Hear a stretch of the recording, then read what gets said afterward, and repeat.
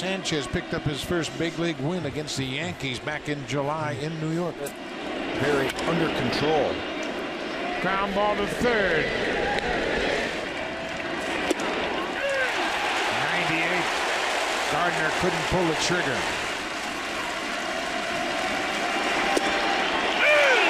Strike three call. Jeter.